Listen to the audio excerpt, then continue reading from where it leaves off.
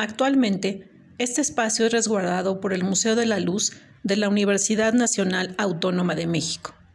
Está en el número 43 de la calle San Ildefonso, en el centro histórico de la Ciudad de México. En este lugar, Siqueiros pintó seis muros, dos pequeñas bóvedas de base de escaleras y un techo, en colaboración con Javier Guerrero, Roberto Reyes Pérez, Juan Manuel Anaya y el señor Mendoza. La obra fue atacada por estudiantes y posteriormente interrumpida por razones políticas, lo cual explica que algunos de sus muros hayan quedado inconclusos. El conjunto mural está integrado por el espíritu de Occidente o los elementos. Los mitos caídos. El entierro del obrero sacrificado.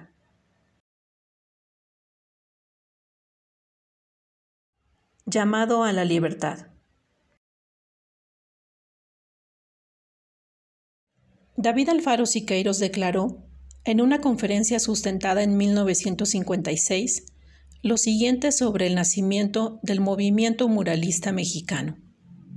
En 1922 se materializa mi expresada voluntad en favor de un Estado de derecho democrático para mi patria con el surgimiento del muralismo, con Diego Rivera, José Clemente Orozco, Javier Guerrero, Fernando Leal, Fermín Revueltas, Juan Charlot y Emilio García Caero, quienes respondiendo al mismo impulso político mío, al mismo desarrollo ideológico democrático, habían llegado por diferentes vías a las mismas conclusiones.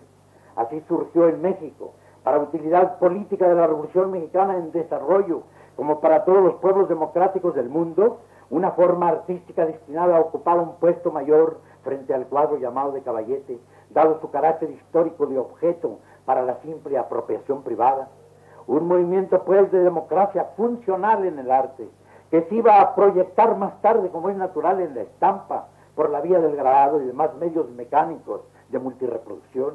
Nadie puede ignorar hoy en México ni fuera de México la contribución del morialismo y la estampa mexicanos para el impulso y desarrollo de la reforma agraria, de la reforma de utilidad para el proletariado industrial, de reforma para la seguridad social, como también para la liberación nacional del país frente a las fuerzas económicas opresoras del extranjero y con todo, consecuentemente, para la creación y desarrollo en nuestro país de un Estado de derecho democrático.